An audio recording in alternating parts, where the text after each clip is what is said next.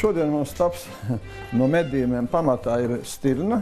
Pamatā gatavot nedēļas salātiņus. Esam domājuši, tas ļoti vienkāršs, kā medniekiem, jā, pārāk sarežģīts, mēs to negatavosim.